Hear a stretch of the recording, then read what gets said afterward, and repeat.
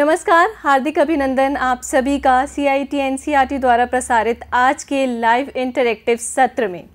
आप हमें देख रहे हैं, हमें हमारे बहुत से माध्यमों के ज़रिए और मैं सृजन राजपूत एक बार फिर से अपने सभी दर्शकों का स्वागत करती हूँ एन के विभिन्न माध्यमों से।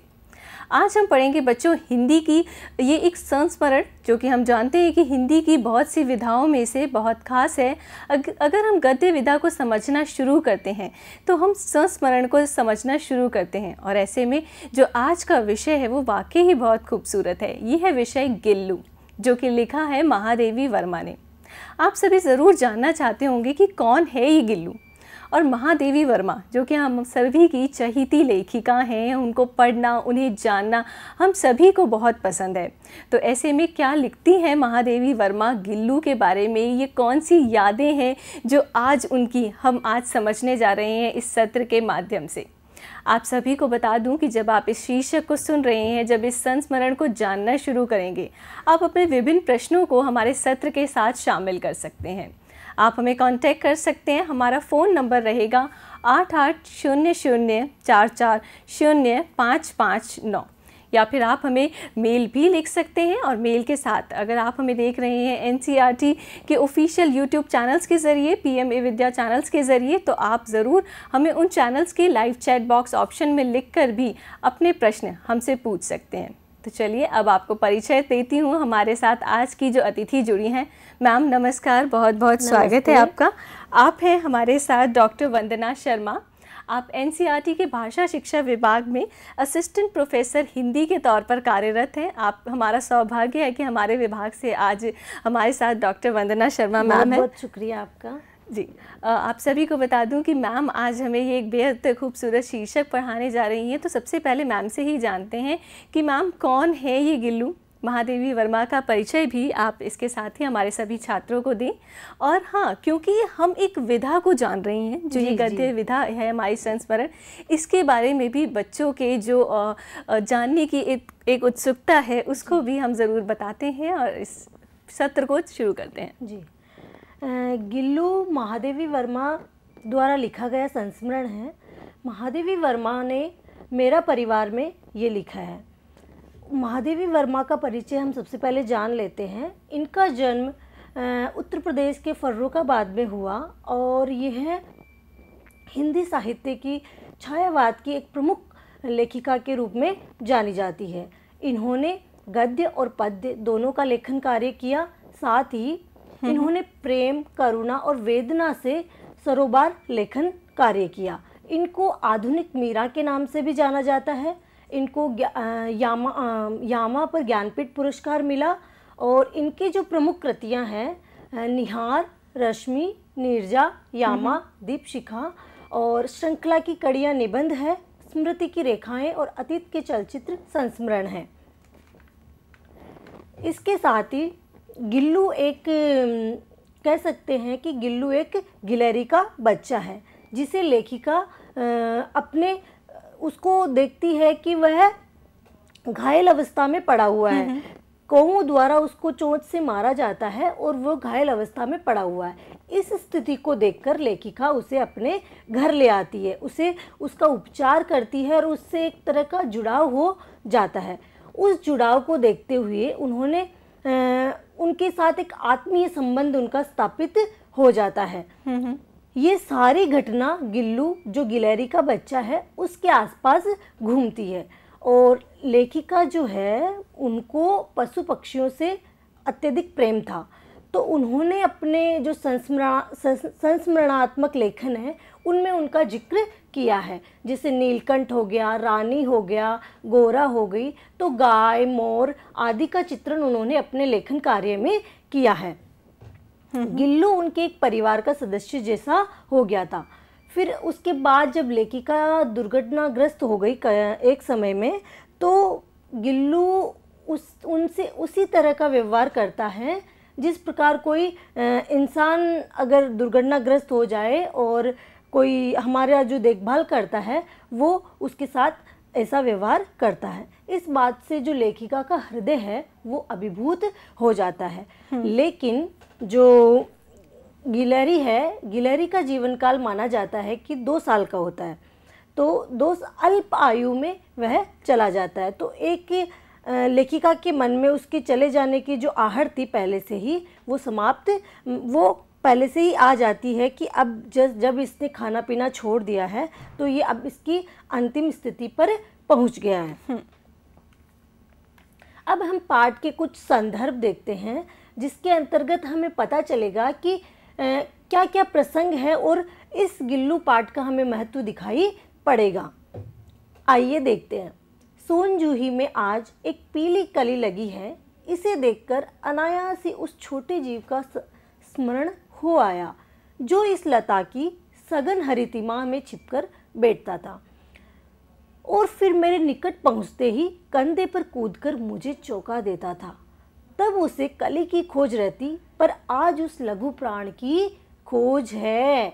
यह जो लेखिका ने संस्मरण लिखा, जब बाद में उनकी स्मृतियाँ उनसे जुड़ चुकी थी और वह चला गया था तो बाद में उन्होंने लिखा तब वह कह रही है कि जो गिल्लू था वह सोन जूही की जो लता होती है जूही की जो बेल हम्म। होती है उस पर वह चलता रहता था या उस पर वह लुका छिपी करता था वह उसमें कभी छिप कर बैठता था हम्म। और कभी मेरे कंधे पर निकट आकर बैठ जाता था तो वो कह रही है कि मुझे आज भी उसकी खोज रहती है। लघु प्राण किसको कहा है यहाँ पे? लेखिका ने उस गिल्लू को कहा है कि वह मुझे कभी तो सोन जूही पर जाता था और कभी मेरे कंधे पर वह कूद जाता था। तो आज भी मुझे उस कली की खोज रहती थी, पर उस लघु प्राण की भी मुझे खोज है, यानी मुझे गिल्लू की बड़ी खोज है। अगला प्रसंग। मेरे काक पुराण के विवेचन में अचानक बाधा आ पड़ी। लेखिका जो है ग्रंथों का अध्ययन कर रही थी तो वो हम्म। कह रही है कि मेरे विवेचन में अचानक से बाधित बाधित हो हो पड़ा मेरा विवेचन यानी मेरा पढ़ना रुक गया। क्यों? क्योंकि गमले और दीवार की संधि में छिपे एक छोटे से जीव पर मेरी दृष्टि रुक गई। जो गमला था और दीवार था दीवार थी उसके बीच में वह जीव फंस गया। निकट जाकर देखा गिलहरी का छोटा सा बच्चा है जो संभवतः घोंसले से आकर गिर पड़ा है और कोवे जिसमें सुलभ आहार खोज रहे हैं। जैसा कि कोवों की प्रकृति होती है अपना भोजन तलाशने की या कह सकते हैं कि कोवे को, कोवे जो होते हैं वो मांसाहारी होते हैं। तो वह उस गिलहरी में अपना भोजन यानी उसको अपना भोजन बनाने की चेष्टा कर रहे थे। काक द्वय की चोचों के दो घाव उस लघु प्राण के लिए बहुत थे। अतः वह निश्चेष्ट सा गमले में चिपटा पड़ा था। काक द्वय अर्थात कोआ। कोए की जो चोच थी, उस लघु प्राण लघु प्राण बार बार किसे कहा गया है? उस गिल्लू को, क्योंकि गिल्लू जो गिलहरी होती है, उसका आकार छोटा होता है। तो उस, वो जो कोए थे, उसको वो मारने में लगे हुए थे। लेकिन वह घायल अवस्था में था इसीलिए वह कुछ कर नहीं पा रहा था। आगे उसकी जातिवाचक संज्ञा को हमने व्यक्तिवाचक का रूप दे दिया और इस प्रकार हम उसे गिल्लू कहकर बुलाने लगे। मैंने फल रखने की एक डली हल्की डलिया में रुई बिछाकर उसे तार से खिड़की से लटका दिया। जिस प्रकार घोंसला लटका हुआ रहता है या कह सकते हैं कि पेड़ पे घोंसला होता है उसी प्रकार लेखिका ने क्या किया? एक डलिया में जो वो होती है डाल डलिया टाइप की एक वो होती है जिसको हम टोकरी भी कह सकते हैं उसमें रुई डालकर उसको लटका दिया ताकि वो वहाँ से अपना विचरण कर सके या वहाँ पर रह सके। तो वहाँ लटका दिया और उसके खाने का कुछ वहाँ प्रबंध कर दिया। कभी मैं गुल्लू गिल्लू को पकड़कर एक बंद लिफाफे में इस प्रकार रख देती उसके दो पंजों और उसके सिर के अतिरिक्त सारा लघुगात लिफाफे के भीतर बंद रहता। लेखिका क्या करती? कभी कभी उसको लिफाफे में भी बंद करके रख देती। हम्म। तो वह उसका सिर तो बाहर रहता लेकिन वह आधा अंदर रहता। इस अद्भुत स्थिति में कभी कभी घंटों मेज पर दीवार के सहारे खड़ा रहकर वह अपनी चमकीली आँखों से मेरा कार्यकलाप देखा करता। जिस प्रकार हम अपने माता या पिता का कार्यकलाप देखते हैं जो छोटे बच्चे होते हैं उसी प्रकार गिल्लू की भी वही स्थिति थी कि वह अपनी चमकती हुई आँखों से, लेखिका क्या करती है, क्या कर रही है, वो सारा क्रियाकलाप वह देखता रहता। भूख लगने पर वह कभी चिक चिक करके वह मुझे सूचना देता और उसको जो गिलहरी होती है, उसको काजू अत्यधिक प्रिय होते हैं। तो काजू और बिस्किट मिल जाने पर उसी स्थिति से, लिफाफे से बाहर वाले पंजों से पकड़कर उसे कुतरता। जी। इसी बीच इस घटना के मध्य लेखिका को मोटर दुर्घटना से आहत होना पड़ा तो उनको अस्पताल में भर्ती कराया गया और अस्पताल से जब वह लौट कर आई तो गिल्लू की जो स्थिति थी वह एक जैसे होता है ना कि हमारे घर पे कोई बीमार हो जाए तो हमारी स्थिति बड़ी वो हो जाती है कि हम उसके लिए क्या करें कैसे करें? तो वही गिल्लू की स्थिति थी। तो गिल्लू ने लेखिका जब घर पे आई तो वह उसी प्रकार रहता था शांत। वह किसी भी प्रकार की उछल कूद उसमें नहीं करता था। और जब गिल्लू उसकी कभी कभी सिरहाने आकर बैठ जाता और कभी वह उसको तेज़ी से जब वह उसको देखती या कुछ कोई आ जाते बाहर से तो वह घोंसले में जाकर बैठ जाता। तो लेखिका कह रही है उन दिनों जब मेरे कमरे का दरवाज़ा खोला जाता।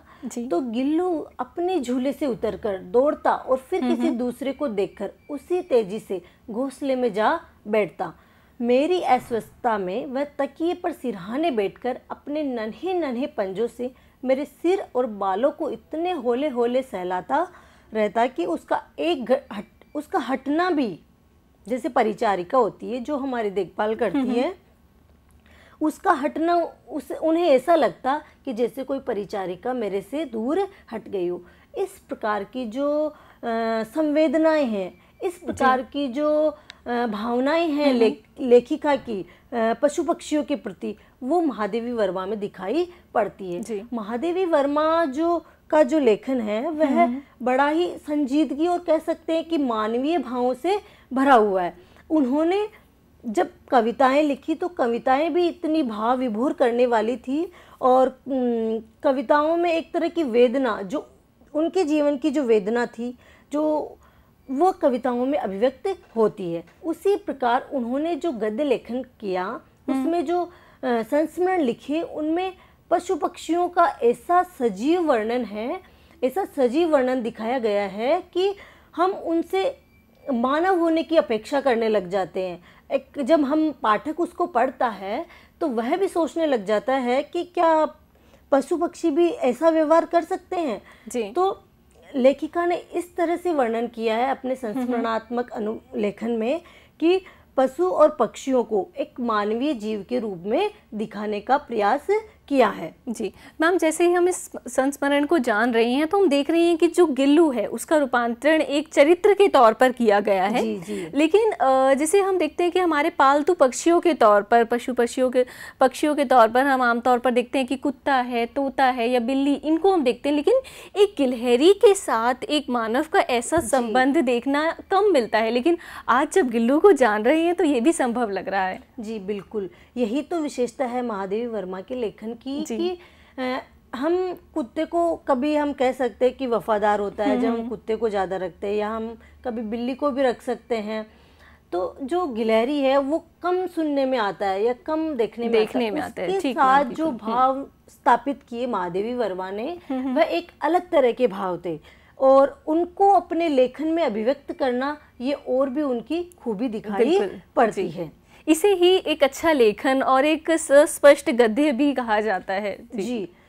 जब लेखन जब उन्होंने वो उनके लेखन को जब हम देखते हैं तो ये पाते हैं कि पशु पक्षी भी एक मानव का कार्य कर रहे हैं या पशु पक्षी जैसे उनको हम बोलता हुआ महसूस कर रहे हैं ऐसा हम उनके लेखन में पाते हैं। जी। इसके बाद आगे के प्रसंग में हम देखते हैं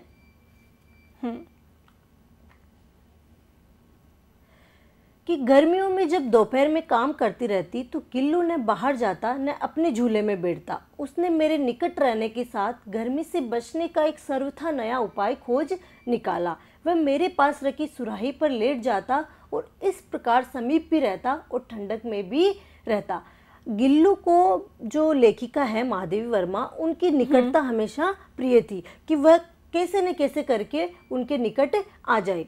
गिलहरियों के जीवन की अवधि। महादेवी वर्मा कह रही है कि जो गिलहरियों का जीवन होता है उसकी अवधि दो वर्ष से अधिक नहीं होती। इसीलिए जो गिल्लू था उसके जीवन का अंत भी आ गया। पंजे इतने ठंडे हो रहे थे कि मैंने जाकर हीटर जलाया और उसे उष्ण उष्णता देने का प्रयास किया। अब आप ये कल्पना करके देख सकते हो कि क्या हम उस जो पक्षी है या जो पशु है, उसके भाव को हम महसूस कर सकते हैं, कर सकते हैं क्या कि ये जाने वाला है या ये करेगा। तो लेखिका ने पहले ही भाप लिया, चूँकि लेखिका को जो पशु पक्षी थे, उनसे अत्यधिक प्रेम था। वह उनके विचार या उन कह सकते हैं कि उनकी क्रियाकलापों के माध्यम से उनके विचारों को जान लेती थी या उनके भावों को जान लेती थी। तो वह कह रही है कि उस उसको उन्होंने उष्णता यानी हम्म, हम्म। गर्माहट देने का प्रयास किया। परंतु प्रभात की प्रथम किरण के स्पर्श के साथ ही उस वह किसी और जीवन में जागने के लिए सो गया। महादेवी वर्मा का यहाँ कहने का तात्पर्य है कि उसकी जो मरणासन स्थिति है वह निकट आ गई वह और वह जीवन को समाप्त उसने कर दिया। उसका झूला उतार कर रख दिया गया है और खिड़की की जाली बंद कर दी गई है। परंतु गिलहरियों की नई पीढ़ी जाली के उस पार चिक चिक ही करती रहती है और सोनजुई पर बसंत आता ही रहता है।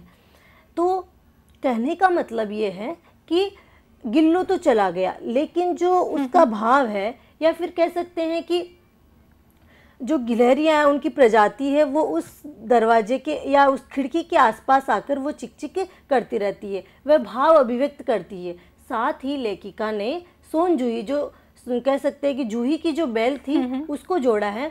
तो जो सोन जूही पर बसंत आता ही रहता है। तो जो जूही का जो बदलता है या बैल है वो हमेशा खिलती ही रहती है। जी। आगे हम प्रश्न अभ्यास देखेंगे। सोन जूही में लगी पीली कली को देख लेखिका के मन में कौन से विचार उमड़ने लगे? जो शुरुआत में लेखिका बताती है कि सोनजुई की बेल पर वह आता था चढ़ता था कभी मेरे कंधों पे आता था।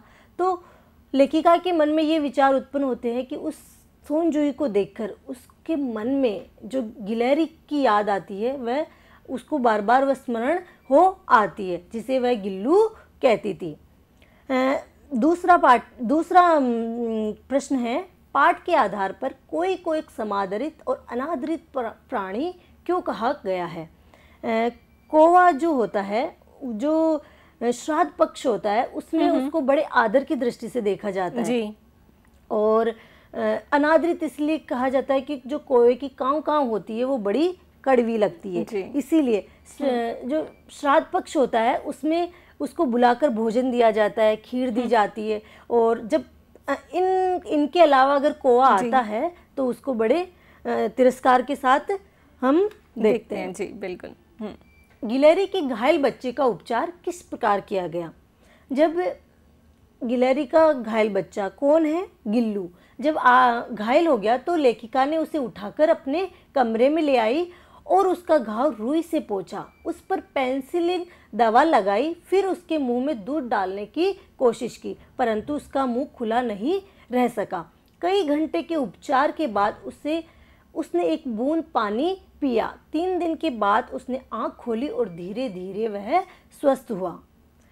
लेखिका का ध्यान आकर्षित करने के लिए गिल्लू क्या करता था? लेखिका का ध्यान आकर्षित करने के लिए गिल्लू बार बार कभी उसके पैरों के पास आकर खेलता कभी पर्दे पर चढ़ जाता फिर उसी तेज़ी से वह उतरता।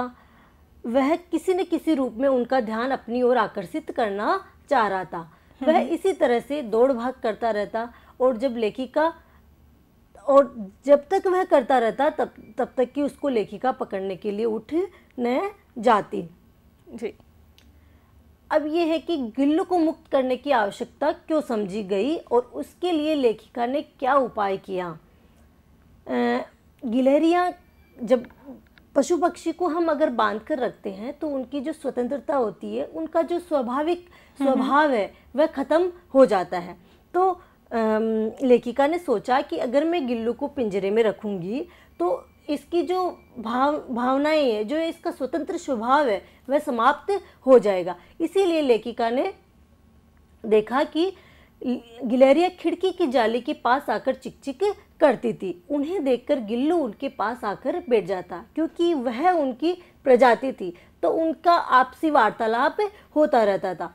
उसको इस तरह बाहर निहारते हुए देखकर लेखिका ने इसे मुक्त करना आवश्यक समझा। फिर लेखिका ने उसको खुला छोड़ दिया। लेखिका ने खिड़की की जाली का एक कोना खोल दिया जिससे गिल्लू हम्म। बाहर आ जा सके। उन्होंने एक जाली एक खिड़की का एक कोने में जाली को खोल दिया ताकि वह बाहर आकर विचरण कर सके और वापस अंदर आ जाए। अगला प्रश्न। गिल्लू किन अर्थों में परिचारिका की भूमिका निभा रहा था? जब लेखिका अस्वस्थ हो गई और उनको अस्पताल से घर लाया गया तब वह उनके सिरहाने आकर बैठ जाता और नन्हे नन्हे पंजों से उनके बालों को सहलाता। मानो कि कोई मनुष्य वत व्यवहार कर रहा हो। इस प्रकार वह सच्चे अर्थों में परिचारिका की भूमिका निभा रहा था। हम्म। अगला प्रश्न है गिल्लू की किन चेष्टाओं से ये आभास मिलने लगा था कि अब उसका अंत समीप है? अब हम हमारे मन में ये उत्कंठा होती है या जानने की जिज्ञासा होती है हम्म। कि लेखिक आखिर लेखिका को कैसे पता चला कि गिल्लू का अंत समय समीप है? जी। तो वह कहती है उनको इन चीज़ों से आभास हो गया कि उन्होंने उसने दिन भर कुछ नहीं खाया। न बाहर गया हम्म। और जो वह उछल कूद करता था वह सब उसकी बंद हो गई। अंत समय की मुश्किल के बाद भी वह झूले से उतरकर लेखिका के बिस्तर पर आ गया और अपने ठंडे पंजों से उंगली पकड़कर हाथ से चिपक गया जिसे पहले उसने घायल अवस्था में पकड़ा था। इससे लग गया कि उसका अंत समीप है। जी। अगला प्रश्न प्रभात की प्रथम किरण के स्पर्श के साथ ही वह किसी और जीवन में जागने के लिए सो गया। इसका आशय स्पष्ट कीजिए। सुबह होते ही उसकी मृत्यु हो गई और वह हमेशा के लिए सो गया ताकि वह जीवन कहीं और जन्म लेकर नए जीवन में वह प्रवेश कर सके। जी मैम बेहद आत्मीय संस्मरण है और जब इसे पढ़ रही हैं जान रही हैं तो आप एक संजीदगी महसूस करते हैं एक सजीव उदाहरण जो है हमें इसके माध्यम से प्रस्तुत किया गया और सच में लेखिका जो एक रिश्ता कायम करती हैं एक जानवर से और वो भी एक स्वतंत्र रिश्ता। हम अक्सर देखते हैं कि जब भी हम कोई पालतू पशु या पक्षी रखते हैं तो पक्षियों को पिंजरे में रखना और अगर पशु है तो उसे पट्टे से बाँध कर रखना एक मानव स्वभाव में आ जाता है। लेकिन लेखिका एक इतने स्वतंत्र विचारों की महिला रही हैं कि हम्म। उन्होंने वो खिड़की जो है वो खोल दी जिससे कि गिल्लू भी बाहर आना जाना कर रहा था। बेहद खुशी हुई इस संस्मरण को जानकर और मैम जो प्रश्न उत्तर थे मुझे लगता है बच्चे अगर हमें देख रहे हैं और जान रहे हैं कि जो प्रश्न उत्तर थे वो भी एक लय में अपने आप से जो है हम एक के बाद एक उन पर बात करते चले गए और वो क्लियर भी हो गए। आगे मैम ये भी जानना चाहेंगे कि इस संस्मरण से हमें क्या सीख मिलती है और क्या हमें और इस पाठ के माध्यम से बताने का प्रयास किया गया है एनसीईआरटी के पाठ्य पुस्तकों में। जी। इस पाठ का जो महत्व है वह अत्यधिक महत्व है इसीलिए एनसीईआरटी की पुस्तकों में आया है। हम्म। और महादेवी वर्मा का जो लेखन है आप देख सकते हैं कि किस प्रकार उन्होंने पशुओं को भी बोलता हुआ उन्होंने दिखाने का प्रयास किया है। किस प्रकार जो हम ये देख सकते हैं कि जो भावनाएँ मनुष्यों में होती हैं वही पशु पक्षियों में होती है। जी। अंतर इतना है कि हम वाक होते हैं और वह हम्म। मूक होते हैं। हम बोल सकते हैं और वह नहीं बोल सकते। हम अभी अपनी अभिव्यक्ति कर सकते हैं और वह अपनी अभिव्यक्ति नहीं कर सकते। तो इस जो इसका जो भेद है या इसमें जो अंतर है महादेवी वर्मा ने इसको पाटने का प्रयास किया है। उन्होंने पशु पक्षियों में जो हम्म, मूक बोली है उसको अभिव्यक्त करने का उन्होंने प्रयास किया जी बिल्कुल। जानवर में भी वही संवेदना होती है हम्म, हम्म। जो मनुष्य में होती है। आ, बस हम उनको महसूस नहीं कर पाते। जैसे गाय होती है तो गाय गाय गाय जो होती है वह भी कभी अपने मालिक से अगर उनको ज़्यादा ही लगाव हो गया तो वह उन उनका इंतज़ार करती रहती है। किसी भी पशु पक्षी को देख लीजिए आप उसको कुत्ते को देख लीजिए। कुत्ते के बारे में तो कहा जाता है कि बहुत वफादार प्राणी होता है। हम्म, हम्म। तो ये सब जो इनका जो संस्मरण है इनकी यही विशेषता है कि उन्होंने एक खाई को पाट दिया जो पशु पक्षी और मनुष्य के भीतर होती है। और चूँकि महादेवी वर्मा हम्म, महादेवी वर्मा ने अपने लेखन में इन चीज़ों को अत्यधिक उभारने का प्रयास किया है क्योंकि ये संस्मरण में जो अनुभव अनुभवात्मक संस्मरणात्मक अनुभव होते हैं वो इसमें दिखाए जाते हैं जिनमें कल्पना का स्थान नहीं होता और वास्तविकता होती है। तो उन्होंने वास्तविकतापूर्ण अपने जीवन से जुड़े हुए अनुभव को संस्मरण में दिखाने का प्रयास किया और इसकी एक झांकी हमें गिल्लू में दिखाई पड़ती है। जी वाकई मैम बहुत खूबसूरत रहा इस विषय को जानना और किस तरह से बच्चे भी संस्मरण लिख सकते हैं अपनी यादों को जो है एक यात्रा के तौर पर औरों के लिए प्रस्तुत कर सकते हैं और बाद में आप चाहें तो उन्हें अपने अध्यापक अध्यापिकाओं से भी साझा कर सकते हैं। ये आप एक काम के तौर पर भी इस पर कार्य कर सकते हैं। जी। यहाँ पर बहुत बहुत धन्यवाद करना चाहेंगे डॉक्टर वंदना शर्मा का। मैम नमस्कार। बहुत शुक्रिया आपका। जी और आप सभी को एक बार पुनः बता दूँ कि मैम एनसीईआरटी विभाग के भाषा शिक्षा विभाग से असिस्टेंट प्रोफेसर के तौर पर हिंदी की जो असिस्टेंट प्रोफेसर के तौर पर कार्यरत कर रहे हैं और मैम सच में बहुत खुशी हुई आज आपके साथ इस विषय को जानकर थैंक यू बहुत बहुत शुक्रिया आपका। जी। बच्चों हम कुछ ही मिनटों में आपके लिए एक बार फिर एक और नया सत्र, एक नए विषय के साथ लेकर जुड़ते हैं। ये होगा कक्षा 10 के बच्चों के लिए साइंस का एक chapter, the fundamental unit of life, part two. तो हम पार्ट वन को भी समराइज करेंगे और पार्ट वन के लिए आप हमारे ऑफिशियल यूट्यूब चैनल्स पर इस लिंक पर जाकर उसे देख भी सकते हैं और पार्ट टू में आज बहुत कुछ नया ज़रूर है आपके लिए, इसलिए आप हमारे अगले सत्र से भी जुड़ें और अपने प्रश्नों के ज़रिए इन लाइव इंटरेक्टिव सत्रों का हिस्सा भी बने। मैं सृजन राजपूत, इस सत्र से आप सभी से चाहूँगी अनुमति। नमस्कार।